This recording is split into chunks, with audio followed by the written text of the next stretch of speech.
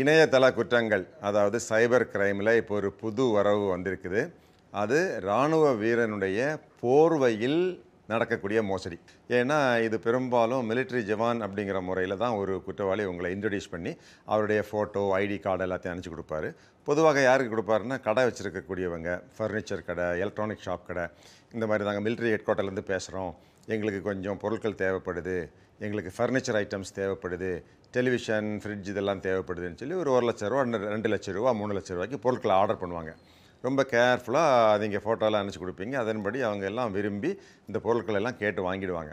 இந்த பொருளை வாங்கின பிறகு இப்போ பேமெண்ட் பண்ணணும். நீங்கள் நாளைக்கு கூட மெதுவாக அனுப்பிச்சிருங்க. நாங்கள் பேமெண்ட் பண்ணுறோன்னு சொல்லி இந்த பேமெண்ட்டுக்காக ஒரு ஐடியா கொடுப்பாங்க. இந்த மாதிரி போர்ட்டலுக்கு வாங்க. அங்கே கூகுள் பேயில் பண்ணிடலாம். அப்படின்னு சொல்லி என்ன பண்ணுவாங்கன்னா அவங்களுடைய ஒரு க்யூஆர் கோடை அனுப்பிச்சி கொடுப்பாங்க. இந்த க்யூஆர் கோடை நீங்கள் ஸ்கேன் பண்ணுங்க. பண்ணும்போது இந்த பேமெண்ட் டீட்டெயில்ஸ் எல்லாம் வரும். அப்போ இவங்க பேங்க் அக்கௌண்ட்டு இவங்க பாஸ்வேர்டு இவங்களுடைய ஓடிபி எல்லாத்தையும் அவங்க ஃபீடு பண்ணி அதாவது நாங்கள் எவ்வளோ பணம் கட்டணும்னு நீங்கள் மென்ஷன் பண்ணுங்கள் அப்படின்னா அந்த கடைக்காரர் ஒரு லட்ச ரூபான்னு சொல்லி டைப் பண்ணுவார்.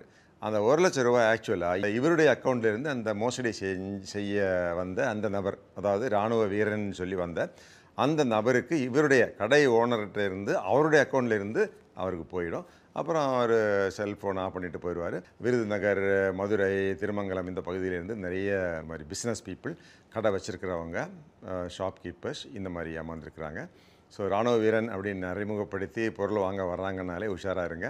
உங்கள் பணத்தை ஏமாற்ற வர்றாங்கன்னு அர்த்தம். நேரடியாக வந்து ஒழுங்காக பணத்தை பே பண்ணால் மட்டும் நீங்கள் பொருளை கொடுங்க. இந்த ஒரு மோசடிக்கும் நீங்கள் ஆளாயிடாதீங்க. கொஞ்சம் உஷாராக இருங்க.